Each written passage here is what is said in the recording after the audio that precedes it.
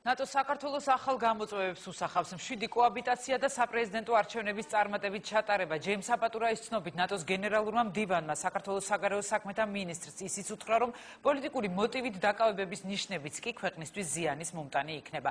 კრიტერიუმების მკაფიო ჩამონათვალი ბრიუსელის მინისტერიალზე ნატოს გენერალური მდივნისგან მაშინ გაისმა, როდესაც ის საქართველოსთვის მაპის მინიჭების თემაზე საუბრობდა. როგორ გაიგეს ბრიუსელის გზავნილი თბილისში, რა ვადებში და რა პირობებში შეიძლება ველოდეთ ნატოსთან დაახლოება დაახლოების შემდგომ ნაბიჯებს პოლიტიკოსებისა და ექსპერტების შეფასებები ქეთემან ბოჟგუას სიუჟეტში.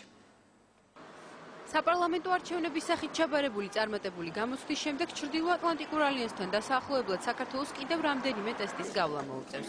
ნატოს მინისტერიალზე არაერთხელ გაჟღერებული გზავნილი უფრო დაწვრილებით დღეს ჯეიმს აპატურაიმ განმარტა. არჩევნები რთული ტესტი იყო, შემდეგი ტესტი არის კოჰაბიტაცია. ეფექტური ქმედებიანი თავრობის ყოლა ნატოს წევრობის ერთ-ერთი მთავარი სტანდარტია. შეიძლება მხარებს არ უყვარდეთ ერთმანეთი და სიყვარული ნამდვილად არ არის გამოცდის ნაწილი, მაგრამ უნდა შეეძლოთ ერთად მუშაობა რთულ საკითხებზეც კი. ფიქრობ ეს კარგი შანსია საქართველოსთვის, რადგან იოლი ტესტები ცირე წინსვლას ნიშნავს რთულის ჩაბარება კი დიდს.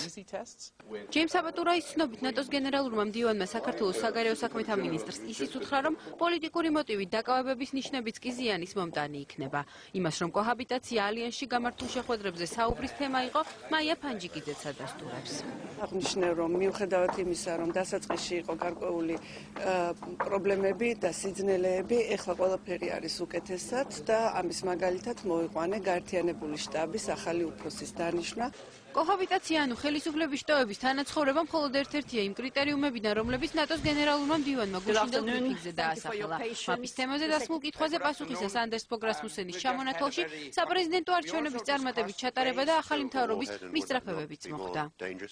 ახლა ჩვენ ველოდებით მშვიდ კოჰაბიტაციას ახალ მთავრობასა და საქართველოს მოქმედ პრეზიდენტს შორის. მოუთმენლად ველოდებით საპრეზიდენტო არჩევნებს მომავალ წელს. ეს შეხვედრა იქნება პირველი შესაძლებლობა მოკავშირეებისთვის, რათა მათ განიხილონ საქართველოს საქართველოს ნატოში მისწრაფება საქართველოს ახალ მთავრობასთან.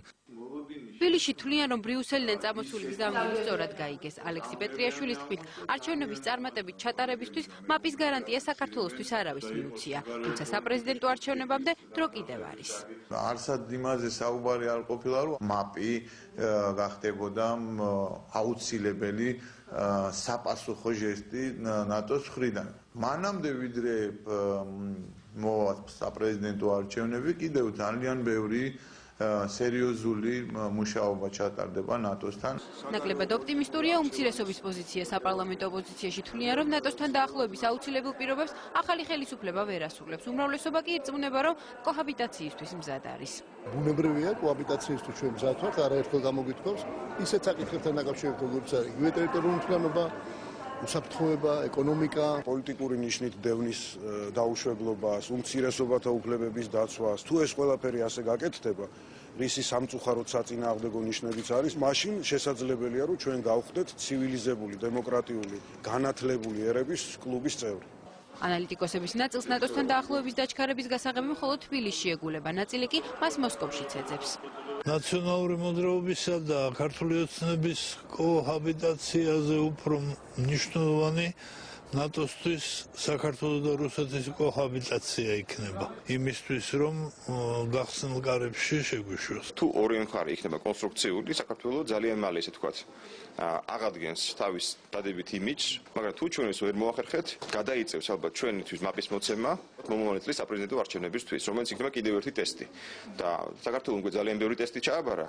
და კიდევ ახალი ტესტები ესე თქვა რო არ გამოგვიწერონ ამისთვის ჩვენ უნდა ვიყოთ ყოველთვის მოწოდების სიმაღლეზე უკვე ცნობილია, რომ გაერთიანებული შტაბის ახალი უფროსის კანდიდატურაზე შეთანხმება ნატოში დადებითად შეაფასეს. ბრიუსელსა და თბილისში ამბობენ, რომ ეს წინ გადადგმული ნაბიჯია იმ მორიგი ტესტის შესაბარებლად, რომელიც ნატომ საქართველოს დაუსახა.